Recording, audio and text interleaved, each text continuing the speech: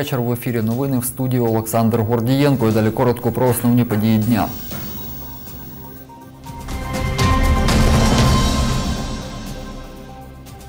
Ситуація із захворюваністю на ковід в області.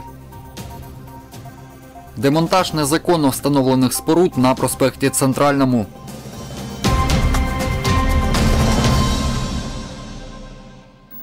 На Миколаївщині за весь період 102 людини одужали, а за останню добу медики зафіксували три нових випадки інфікування COVID-19, розповіла речниця Миколаївського обласного штабу з протидії коронавірусу Валерія Котовська.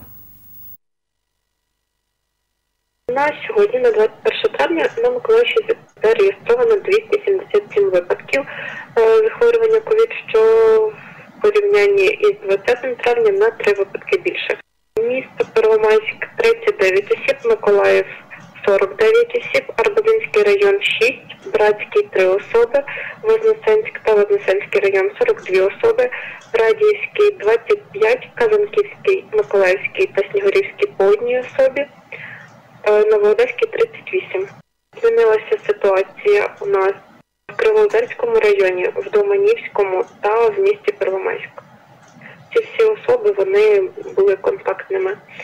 Е, Також з хороших новин у нас додалися люди, які видужали це три особи. Тобто на сьогодні у нас є вже 102 особи і нових летальних випадків не зареєстровано.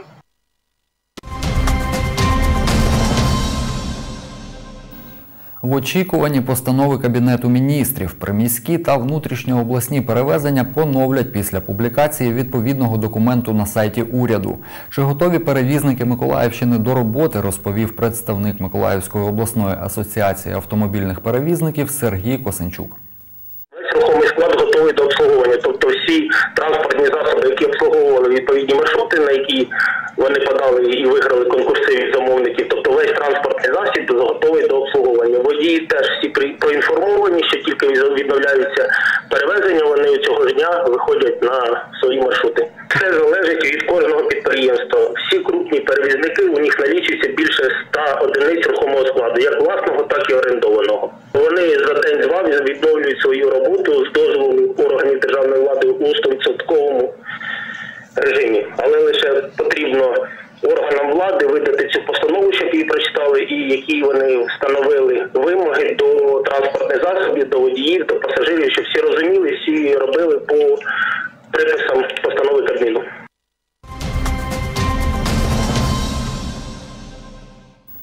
Сьогодні на розі вулиць 6 Слобідська та проспекту Центрального демонтували два незаконно встановлених кіоски. Підприємці, які продавали квіти, кажуть, справно сплачували оренду та податки. Далі матеріалі Катерини Максименко.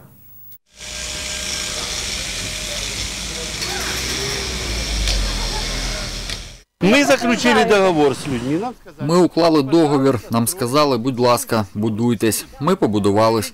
Бачили, який магазин стояв. Багато людей дякували. Декабрь месяц. Нам выставляют э, Місяць грудень є договір оренди. Нам виставили рахунок, яка буде оренда. Ми справно платили та справно все виконували. самое обидное, что у нас генделики эти растут пивные. Образливо, що в нас генделики ростуть пивні, ростуть як гриби. Яка нація нас чекає? Одні п'яниці. Кого ми підтримуємо? Чим ця країна скінчиться? Це країна гастарбайтерів. Все, куди мені зараз йти? Єдиний варіант пакувати валізу і на Польщу. Мене там чекають, так? Жінка каже, викликали поліцію, дії департаменту, примусовий демонтаж законні. Говорить, судити з орендодавцем не буде. Є смисл? А є сенс? Чи є сенс з нашою державою взагалі боротись? Ось люди подавали позов. І що? Вони нічого не виграли. Вони просто побігали, понервували і все. На цьому все скінчилось. Причиною демонтажу стала відсутність дозвільних документів на будівництво, тобто неофіційна архітектурна форма стояла на офіційно орендованій землі, яку підприємці винаймали у фірми Універсал Юг. Земельна ділянка належить громаді міста Миколаєва. Е, Жодних документів, які б е, надавали право для розміщення на цьому місці будь-яких торгівельних споруд, відсутні. За схемою ця ділянка повинна бути вільною і цільове призначення для проходу пішоходів. Всі, щоб е, можливо було зайти в сквер квітковий, для цього і тут існував прохід. Незаконно кіоски стояли три роки. Січня 2020-го підприємцям надали час для добровільного демонтажу. Тепер повернути демонтоване майно можна буде за гроші. На телефонні дзвінки у фірмі Універсал Юг не відповідають. З відкритих інтернет-джерел власником є Анжеліка Дюміна, донька депутата Миколаївської міської ради та члена земельної комісії Анатолія Дюміна. Ну, квіти, вазони, я думаю, на вулиці можна продавати. Ну, от е, квіти, вазони, воно якось гарно. А якщо от е, тут стоїть, от, і впереді ще щось стоїть, а потім знову стоїть, ну це не хорошо. Зараз люди бідні, їм треба жити, кормити. Вони, звісно, багачі, у них гроші є, вони за, за людей не думають. А зараз люди всі бідні, їм їсти треба, дітей кормити. Все ж треба. А де ж воно де вони? Треба надо, значить, дадуть нехай другу роботу, щоб робити можна було, зарабатувати, кормити сім'ю. А що ж чоловіки уїжджають на полгода, а мами з дітьми малими сидять, ждуть свого чоловіка. Вот этот магазин, это 15 лет моей пенсии. Взяли, просто снесли, убрали. и всё. Вон у нас на той стороне пивнушку построили, дальше на квартале пивнушку. Спивайтесь, украинцы, спивайтесь.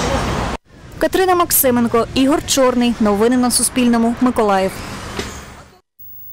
Про найстаріший фрагмент ляної тканини, колекцію вишиванок та рушників Миколаївського обласного краєзнавчого музею. Дивіться далі. Екскурсії по п'ятеро людей і в захисних масках. Ірина Вихор разом із подругами привели до музею дітей. Говорить, заходів в місті до Дня вишиванки цього року не влаштовують, тому екскурсія в музеї – хороша альтернатива. Надо детей приобщать к тому, чтобы они знали историю. Треба дітей долучати до цього, щоб вони знали історію нашого краю. Тим паче сьогодні таке свято День вишиванки. Дітям дуже подобається в музеї і з захватом розглядають експонати. Ми також багато чого нового дізналися. Довга, ось вона сорочка, і звичайно була прикрашена візерунком. У меня есть белая вышиванка с... У мене є біла вишиванка з дуже гарною вишивкою. Мене дуже здивувало те, що всі вишиванки тут різні: одні з квітами, а інші з плодами. Моя вишиванка відрізняється від цих. Вона без квітів, вона звичайна і сучасна.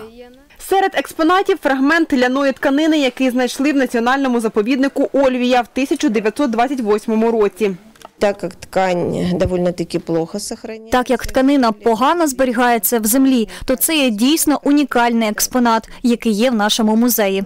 Загалом в фондах музею зберігається близько 100 вишиванок та 500 рушників кінця 19-го, початку 20-го століття.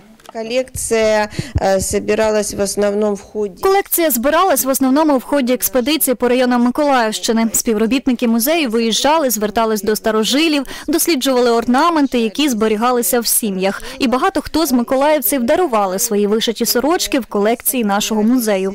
В нашій колекції є як прості рушники, якими витирали руки. Вони прикрашені бідно вишивкою або тканинною смужкою. Є святкові рушники, які використовувалися в різних обрядах. І ось найстаріший рушник, який є в музеї 1882 року. Ми знаємо, бо на ньому вишита дата. Вишиванки, які зберігаються в музеї, вишиті на ляній, конопляні та фабричній тканині. Більшість хрестиком. На півдні України характерна вишивка рослинного характеру. Але вона, ви бачите, ось в таких кольорах. Давайте подивимось. На манекен. От дівчина і переважно рослинні елементи на вишиванці. І ви бачите кольори зелений, червоний та чорний. І ще дуже багато цікавого може розповісти про себе вишиванка. Ви бачите, на моїй вишиванці є ягідки, калина, калинонька. Ягідки відзначають то, що в мене є дитина. Давайте подивимося на дівчинку. В неї є ягідки?